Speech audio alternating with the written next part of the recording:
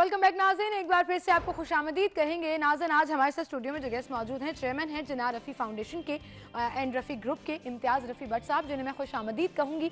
और उनसे हम बात करेंगे आज जना फाउंडेशन के हवाले से। जना रफ़ी फाउंडेशन जो उन्होंने बनाई है और उसके तहत अब जो एक डॉक्यूमेंट्री पूरा उसको सेटअप किया गया उसको बनाया गया वो डॉक्यूमेंट्री क्या है वो भी आपको दिखाएँगे और इस हवाले से बात भी करेंगे। असल इम्तियाज़ साहब। क्या हाल चाल है आपके? अल्लाह का शुक्र आप सुनाइए अल्लाह का शुक्र। जी ठीक ठाक। बहुत शुक्रिया आपकी तशरीफ़ आवरी के लिए। जना से आपकी और आपके आपसे पहले वालिद साहब की मोहब्बत और उनके साथ आपके वालिद साहब ने जिस तरह से तहरीक पाकिस्तान में हिस्सा भी लिया और उनके जो ताल्लुक थे कायद अजम मोहम्मद अली जना के साथ वो तो काबिल कदर हैं ही। लेकिन आप उस लेगेसी को लेकर आगे चल रहे हैं। बाकायदा आपने फाउंडेशन बनाई अब एक डॉक्यूमेंट्री भी बनाई है कायद अजम के हवाले से। मैं दो महीने का था जब मेरे वालिद का एयर क्रैश हुआ। 1948 में पाकिस्तान बनने के साल बाद हम्म। और कायद अजम की फौतगी के दो महीने के बाद my father died in an air crash और मेरी उम्र दो महीने थी तब। So I was raised without a father as an orphan तो फिर मैं बिज़नेस में चले गया। By the age of forty आज से तीस साल पहले मैंने फाउंडेशन बनाई अपने वालद के नाम पे और I wanted to research on him because वो हिस्ट्री की डस्ट में गुम चुके हुए थे। तो फिर जब हमने रिसर्च टीम बनाई आर्काइव्स में गए, कायद अज़म के कागज़ देखे, उसमें रफ़ी भट्ट और कायद अज़म के खतूत मिले और वो ऐसे थे जो उनकी क्लोजनेस बताते हैं, उनका रिलेशनशिप बताते हैं। और रफ़ी भट्ट जो कायद अज़म के लिए और पाकिस्तान के लिए करना चाहते हैं वो ख़त बताते हैं उनकी रिसर्च बताती है। कायद आज़म के खतूत से पहले आपको इतन, ये नहीं आइडिया था कि मेरी क्लोज योर फादर हुआ विद कायद आज़म आपको कोई आइडिया नहीं था? नहीं आइडिया था बट आइडिया ऐसा था कि वालदा कहती रहती थी। अच्छा। तो मैं तो वालदा की बात को ना इतना सीरियस ले सकता था ना मेरी उम्र थी ऐसे। और मुझे 11 साल की उम्र पे बताया गया जब मैं बोर्डिंग में गया वापस आया तो हम्म। कि मेरे बाप ने कभी देखा तो मुझे 11 साल की उम्र पे डिस्कवर हुआ कि my father is dead so पता ही नहीं था।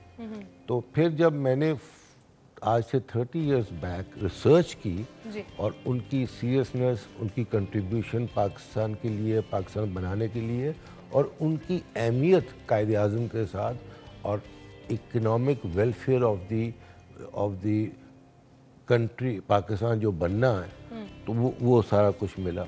वो जब किताब लिखी अपना सैयद रज़ी वास्ती अब मरहूम है वो वो विजिटिंग प्रोफेसर थे कोलंबिया यूनिवर्सिटी के हिस्ट्री के प्रोफेसर थे। उन्होंने एट कायद सर्विस लिखी।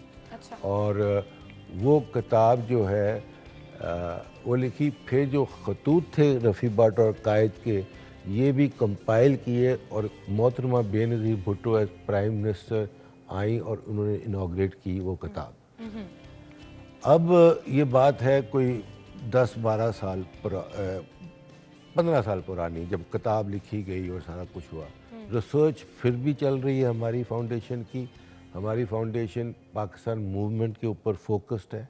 कि पाकिस्तान कैसे बना क्यों बना और किन्हों ने बनाया और यही प्राइम पर्पस था इस फाउंडेशन को फाउंडेशन का। हिस्ट्री को डिस्ट्रॉट को ठीक करना। देखिए तारीख बड़ी इंपॉर्टेंट होती है। अब पार्टीशन हुई आज से सत्तर साल पहले। हम्म। मेरी जनरेशन वो है मैं आज सत्तर साल का हूँ। मेरी जनरेशन वो है जो पाकिस्तान बनने के बाद पैदा हुई साल पहले साल बाद। आपकी जनरेशन वो है जो पाकिस्तान के मिड में पैदा हुई। हम्म। तो पार्टीशन में कितनी कुर्बानियाँ दी गई कैसे मुल्क बना क्या है वो मेरे लिए भी बड़ा इम्पोर्टेंट है समझना और आप और आपकी आने वाली नस्लों के लिए भी। बिकॉज़ जब हम सत्तर साल की बात करते हैं और माइग्रेशन की बात करते हैं और कत्ल आम की बात करते हैं तो आई एम श्योर कि आपके वालद या वालदा तो उस उम्र में नहीं होंगी बट आपके दादा दादी नाना नानी सत्तर साल पहले जवान होंगे। हम्म, हम्म। जो जो जिन्होंने वो पार्टीशन देखी चीज़ें देखी बिल्कुल, देखी। बिल्कुल, बिल्कुल, तो वो कैरी ऑन नहीं हुई आपको अंदाज़ा भी नहीं हो सकता। हाँ, हाँ। तो ये अगर फ़िल्म जो है ये वो किताब जो रज़ी वास्ती ने लिखी थी एट काइड सर्विस उसके स्क्रिप्ट के ऊपर अगर फ़िल्म बनी डॉक्यूमेंट्री है कायद आज़म पे रफ़ी भट्ट पे पार्टीशन पे और कैसे डिस्कवर हुआ? और आज के जितने एमिनेंट बड़े नाम हैं जो हिस्ट्री को पढ़ते हैं और बढ़ाते हैं और वो पोजीशन में हैं उनके कमेंट्स हैं उसमें और उनका आ, सारा कुछ है। तो कोई तकरीबन एक घंटे की डॉक्यूमेंट्री है which has beautiful music and very patriotic and very genuine और एक एक अल्फाज हिस्टोरिकल लेकिन बड़ा बड़ी रिस्पांसिबिलिटी भी होती है ऐसे डॉक्यूमेंट्रीज बनाना या ऐसे हिस्ट्री लिखना क्योंकि आपको बड़े फैक्ट्स देखने पड़ते हैं बड़े लॉजिक्स ढूँढने पड़ते हैं और बड़े लोगों और, बड़े, लोगों को एतराज़ भी हाँ, आता है एतराज़ भी होता है। हम्म। जब तक आज से तीस साल पहले मुझे ख़त नहीं मिले थे तो लोग समझते थे पता नहीं मैं क्यों ये कर रहा हूँ कैसे कर रहा हूँ? But hmm, hmm. जब हिस्ट्री में आपको चीज़ें मिल जाएँ तो फिर इतराज़ नहीं होता। तो वो जज्बा है आप वो गाना जो है अगर फ़िल्म का आप अगर अपने नाजरीन को वो दिखाएँगे जी, ज़रूर ज़रूर। तो अभी मैं उसी वो वो बता देगी आपको आ, ये आ, जो इसमें सॉन्ग भी है और जो डॉक्यूमेंट्री भी बनाई गई है उसको हम जरा देखते हैं नज़र डालते हैं।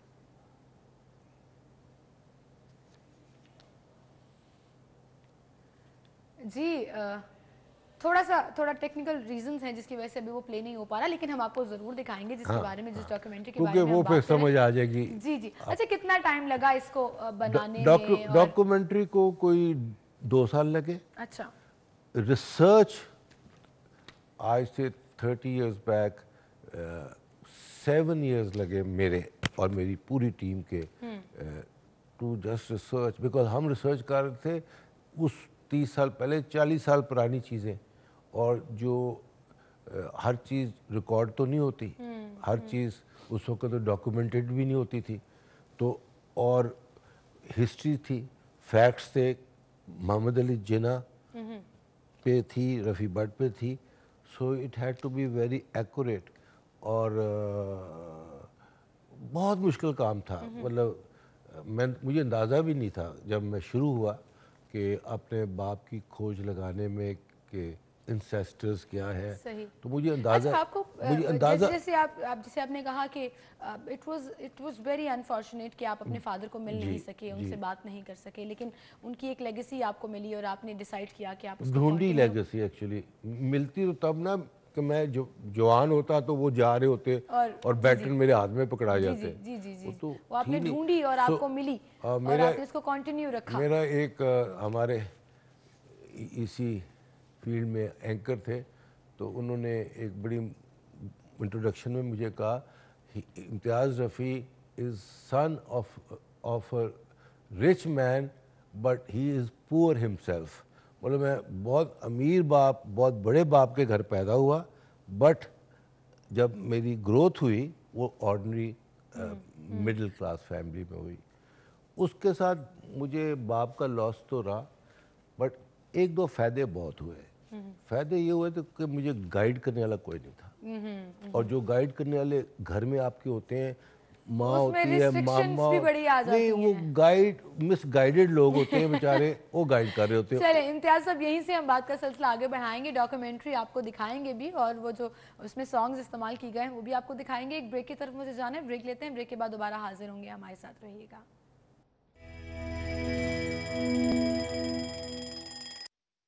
Welcome back Nazin. एक बार फिर से आपको खुश आमदीद कहेंगे। इम्तियाज़ रफ़ी भट्ट साहब हमारे साथ स्टूडियो में मौजूद हैं।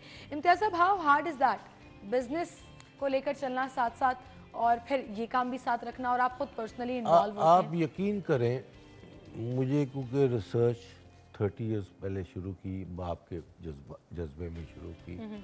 उसके बाद बाप को ढूंढते ढूंढते कायद आज़म की डेप्थ में मैं चले गया स्टडी में जो स्कूल और कॉलेज में बंदा नहीं जाता।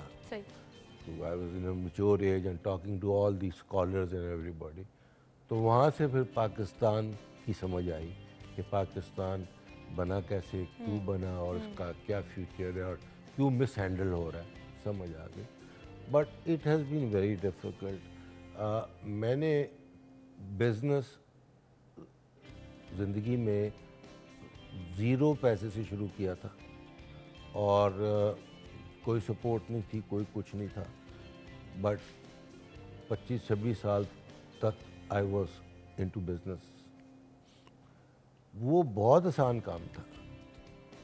Compare to researching your father 40 years back कि क्या था क्या नहीं था और जिसकी जिस ज़माने में फैक्स भी नहीं होती थी और आ, आ, ये क्या ले ये जो फ़ोटो के कॉपी फ़ोटो कॉपी भी नहीं होती थी। तो वो चीज़ को ढूंढना और फिर उसमें जज्बा रखना। और फिर it made me a very nationalistic person और मेरे लिए ये पाकिस्तान को देखने का तरीका ही फ़र्क हो गया। अब जिना रफ़ी फाउंडेशन और मेरी कोशिश ये है कि नई जो यंग जनरेशन है आप आप वाली वहाँ तक चीज़ें पहुँचें सही तरीके से पहुँचें। जब तारीख सही तरीके से बताई जाएगी आपको तो आपकी सोच कुछ और होगी। और अगर तारीख को मैनेज करके बताया जाएगा तो वो सोच कुछ और होगी। हिस्ट्री का ये होता है कि हुक्मरान के वक्त जो लिखी जाए उसके इन्फ्लुएंस में लिखी जाती है या वो इन्फ्लुएंस कर लेता है। जब 20-30 साल के बाद कोई लिखे वो हुक्मरान का इन्फ्लुएंस ख़त्म हो जाए तो वो सही चीज़ लिखी जाती है।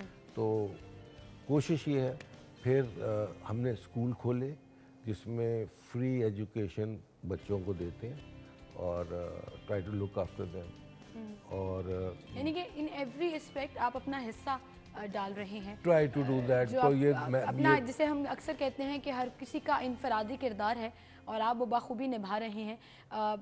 यंग जनरेशन को बताना कि कायद का पाकिस्तान क्या है क्या- क्या ये है? ये बड़ा ज़रूरी है। बहुत खास तौर पर आजकल के दौर में बहुत बहुत ज़रूरी है। और स्पेशली जिस तरह हमारा इंडिया से मसला है या रहता है ये भी पार्टीशन का पार्ट ही है। ऑब्वियसली बिल्कुल। इकट्ठा रहने वाली बात है। अब अब हेजमनी नहीं हम उनकी सुपियोरिटी मानते झगड़े होते। हैं तो ये सारी चीज़ें हैं और और ये ये ये अगर फ़िल्म में बहुत कुछ अ, बताया गया है जो मैं समझता हूँ लोग बिल्कुल सही बिल्कुल सही। मैं बताते चलूँ कि आप ये डॉक्यूमेंट्री यूट्यूब पर देख सकते हैं अगर के नाम से।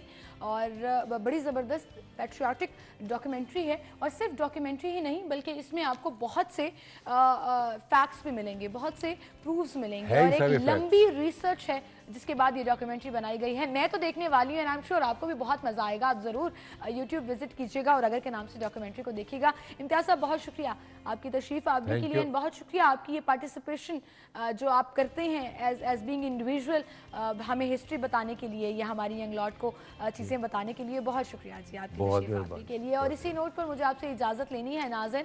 लेकिन उससे पहले मुझे हील्स के लिए जो मैंने सवाल हील्स का जो गिफ्ट टेम्पर है उसके लिए सवाल आपसे पूछा था। अ, एहसामुल हक के हवाले से अ, तो विनर्स हमारे पास जो हैं वो उनके नाम आ चुके हैं। विनर्स के नाम सबसे पहले हमारे पास हैं जी वर्दा एहसन है जिन्होंने सही जवाब दिया है। और दूसरा नाम है हमारे पास अदनान जिन्होंने ये जवाब दिया है। और वो विनर हो गए हैं हील्स के एक ग्रैंड स्लैम है जिसका फाइनल एहसामुल हक ने जीता है। ये आ, बता दूँ। दो दो ग्रैंड स्लैम है जिन्होंने फाइनल खेला और ये जो है वो इसका सही जवाब था। और इसी के साथ आपसे मैं इजाज़त चाहूँगी। इन कल सेम टाइम से आप पे मुलाकात होगी। आप अपना बहुत सा ख्याल रखिएगा। मुझे इजाज़त दीजिए। अल्लाह हाफिज़।